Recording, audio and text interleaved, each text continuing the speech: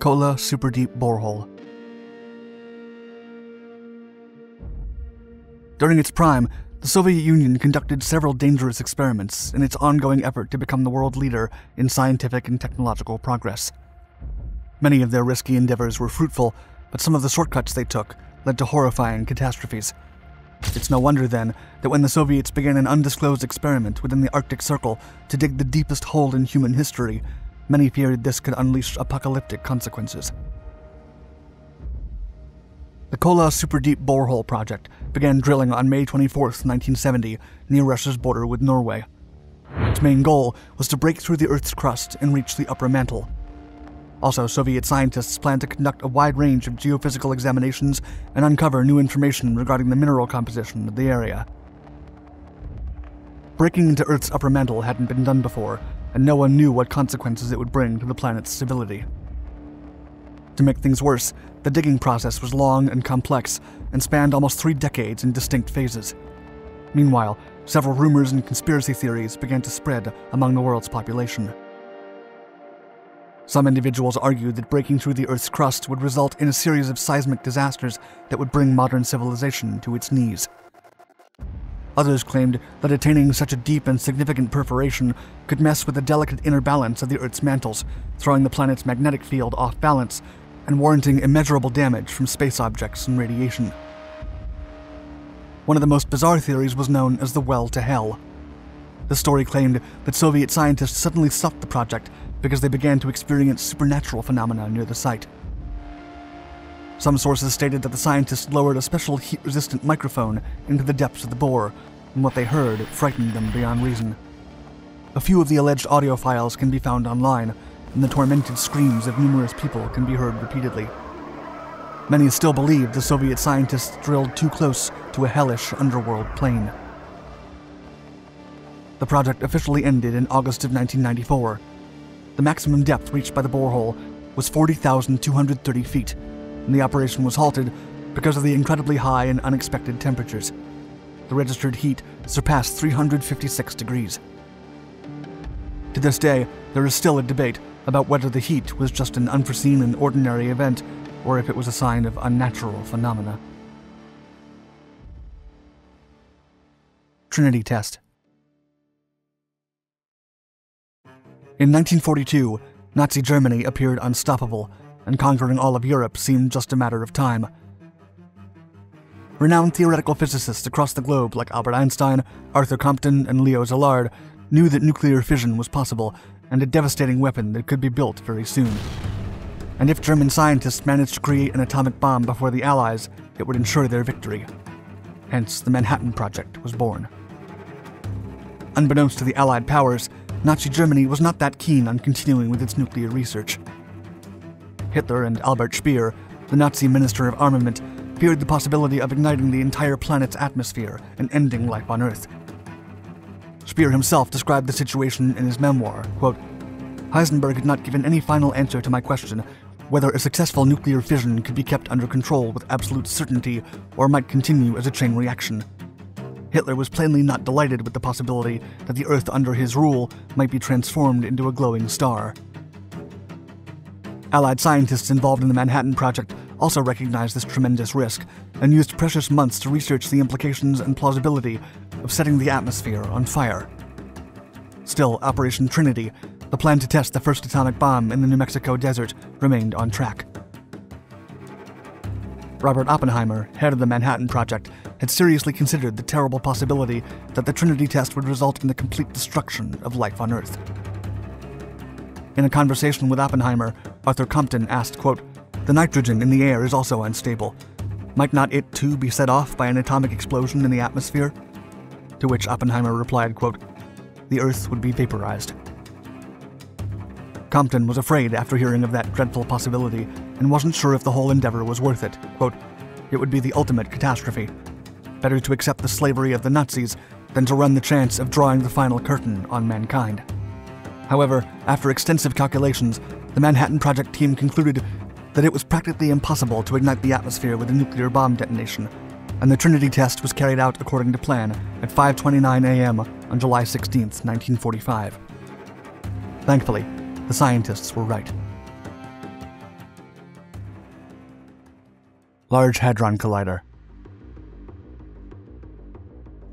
After a 10 year building period, the European Organization for Nuclear Research finished the construction of the Large Hadron Collider in September of 2008.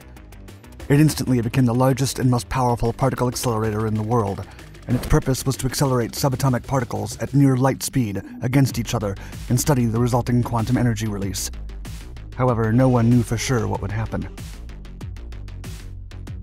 As far back as 1971, Stephen Hawking theorized about the existence of black holes with a mass much smaller than that of a star. Other physicists eventually calculated that artificial micro black holes could be created by humans using a powerful enough particle collider.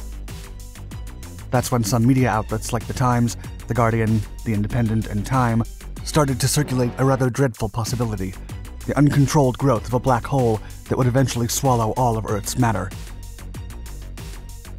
CNN even published a story saying, quote, Some have expressed fears that the project could lead to the Earth's demise. After such news, many people fell into panic and wild speculation. Some groups even started to demand the immediate dismantlement of the all new $4.7 billion collider. It took a joint effort from the scientific community and the media to calm the public down. A message was released explaining that although micro black holes were a theoretical possibility, they were so microscopic and so unstable that they would instantly decay thanks to a phenomenon called Hawking's radiation. Ironically, a fear started by a poor interpretation of Hawking's theories was resolved by an adequate explanation of his thesis. Starfish Prime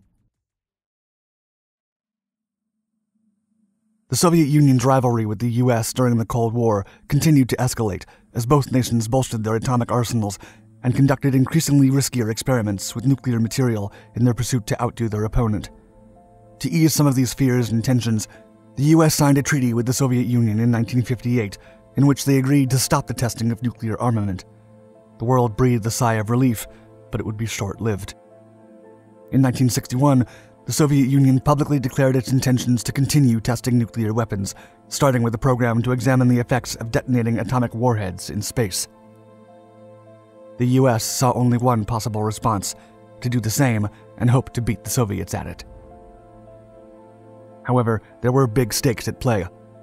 Scientists were unsure what could happen if a nuclear bomb exploded in Earth's orbit and feared it could disrupt radio communications, destroy satellites, or perhaps even disable a whole country. The US could not just sit and watch while the Soviets developed a new kind of warfare.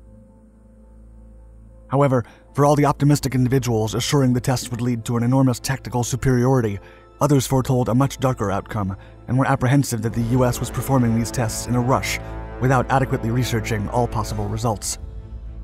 The primary hypothesis was that detonating a hydrogen bomb just outside of Earth's atmosphere could massively damage the planet's electromagnetic field, if not obliterate it. The Earth would be left defenseless against the radioactive solar wind and cosmic rays, the global climate would be devastated, and radiation would cripple the well being of the world's populations. In the grimmest of scenarios, strong solar winds could theoretically rip the Earth's atmosphere away, immediately ending all life on Earth. The US authorities disregarded these fears, and on July 9, 1962, executed Operation Starfish Prime, detonating a 1.4 megaton thermonuclear warhead 250 miles above the Pacific Ocean. The explosion generated a massive flash of light in the sky, the likes of which had never been seen before. Some Hawaii residents claimed to have seen what appeared to be a bright orange aurora borealis that brightened the whole sky. The blast also caused satellites all over the world to malfunction or be thrown out of orbit. In Hawaii, streetlights blew off, telephone lines were damaged, radio communications were interrupted, and security alarms went off. There had been much more damage than the government had expected. Luckily, not so much as to bring the end of the world. SETI. The search for extraterrestrial life has always been a controversial topic. Scientists didn't take the idea seriously for a long time, while others considered it a waste of time and resources. However, by the 1960s, astrophysics, space exploration, and astronomy had advanced so significantly that more and more members of the scientific community declared that finding traces of an intelligent extraterrestrial civilization was just a matter of time. Many astrophysicists, such as Enrico Fermi, had calculated that the possibility of having such an astronomical number of stars in the Milky Way was absolutely ridiculous. Even more so, as many of these stars had more than one planet at the proper distance from the Sun to produce life. Hence, the SETI initiative was born. The program's mission was to construct massive arrays of radio telescopes worldwide to detect incoming radioactivity from extraterrestrial life and even send information back to them. However, building and maintaining such a massive and ambitious operation would require billions of dollars, and convincing the government to back this project was sure to be a difficult task. Carl Sagan, one of the most influential and famous astrophysicists of all time, backed the project and helped it come to fruition. As a fervent ally of the SETI initiative, he was utterly convinced that if the project was conducted as planned, humans would find signs of intelligent life from outer space within a decade. But not all brilliant minds were so eager to make contact with alien life forms, and Stephen Hawking was one of the scientists who had reservations. He once said, quote, If aliens ever visit us, I think the outcome would be much as when Christopher Columbus first landed in America, which didn't turn out very well for the Native Americans. Opinions like that have convinced many people across the decades that SETI is a danger to our civilization. Some of SETI's detractors argue that if the project is not stopped, we risk attracting the attention of a powerful alien civilization with technologies eons more advanced than ours.